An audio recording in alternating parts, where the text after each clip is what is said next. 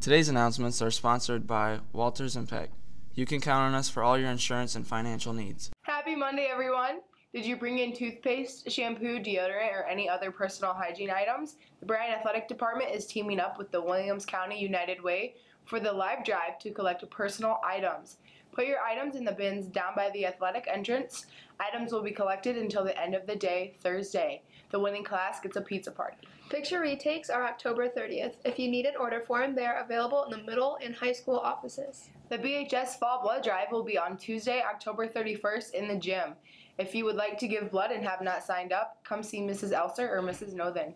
You must be at least 16 to give blood, and if you are just 16, you must have a form signed by your parents. This has to be a new form each time you donate.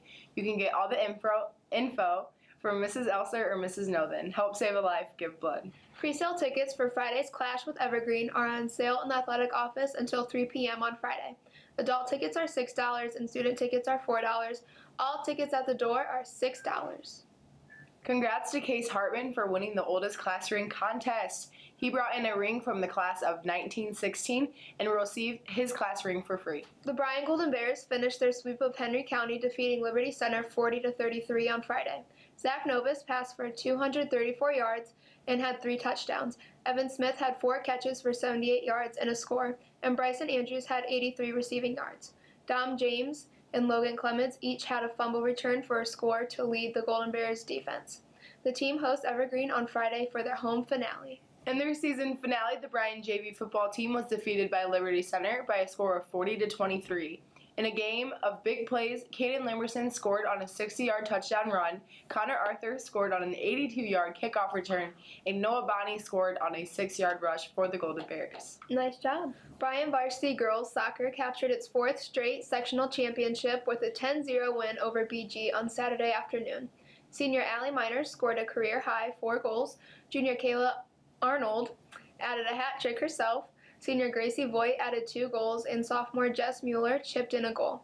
Bryan plays in the district semifinal on Tuesday evening at 5:30 p.m. at Lake High School.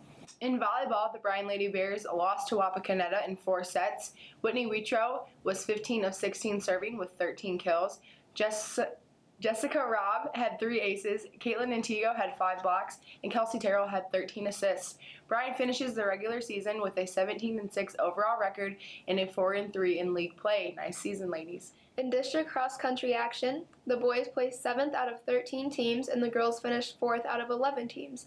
Top finishers for the boys were Austin Johnson in 14th place, Eric Gendron in 24th, and Ethan Cox finished in 27th place. Top finishers for the girls were Audrey Zimmerman in 4th place, Addie Oberlin in 14th, and Adrian Struble in 21st.